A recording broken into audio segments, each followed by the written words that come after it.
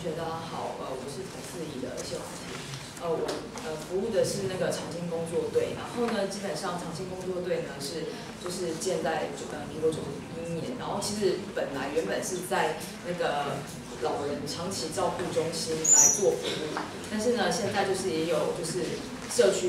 呃社区式的服务，就是呃进入那个社区举光社区，然后去照顾一些那个外省的独居老人。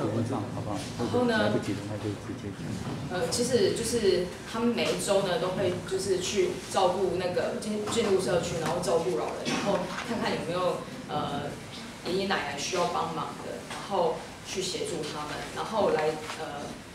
借由这些这些活动呢，然后呃引导出老人家就是不要都躲在家里啊，然后就是减少那个忧郁的还有那种自杀的情况。然后呢，呃，就是工作队呢，就是有，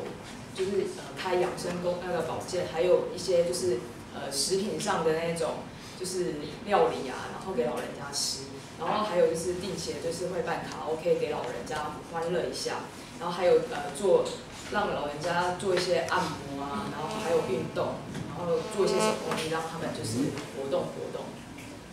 然后呢，呃，我来介绍一下，就是我们就是活动的一些内容，就是呃，就是老人家们啊，就是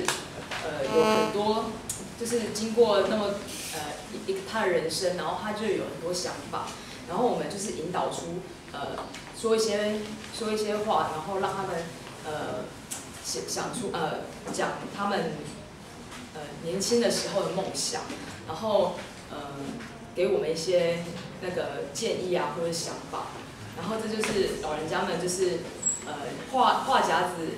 就是打就是打开了之后就会一直讲一直讲，然后就会滔滔不绝的一起一直分享分享他的经验啊，还有他的那个什么就是梦想啊给大家听这样子。然后呢，呃，我印象最深刻的就是说那个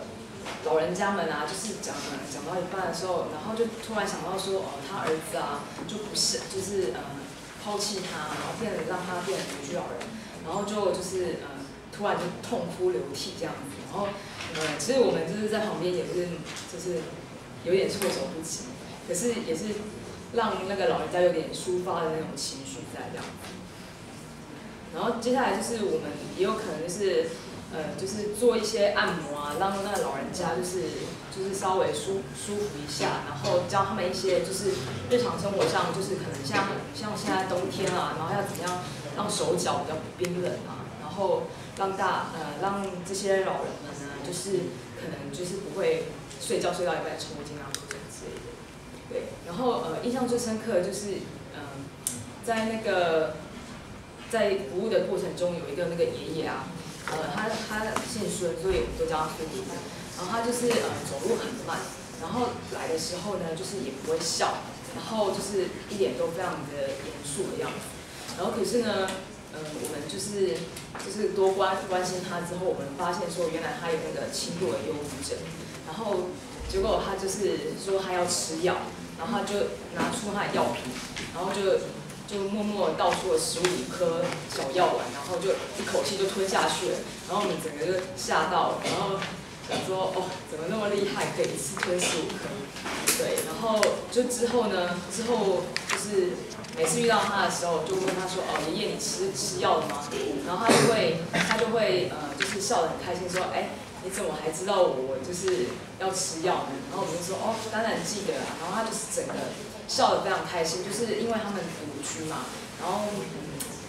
有点缺乏就是大那个孩子们对他的关心。所以只要呃有人对他关心的话呢，他就是会就是还蛮开心的这样。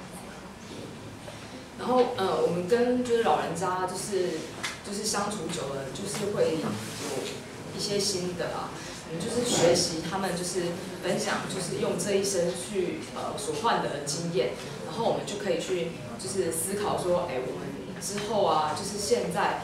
就是应该要做什么准备，然后未来才不会怎样。然后呃去规划一下我们的人生，然后就是让人生过得精彩一点，不要就是到最后就是虽然说儿子不理你，你即使当独居老人，你也可以快乐一点这样子。对。然后所以呃从志工的这个这个服务之后，我们就可以发现说，哦，只要有投入，就会感到深，呃，可以深入的了解一些事情，然后付出就会就会得到一些收获，然后用心，最重要的是用心之后就会开心，这样。子，谢谢各位。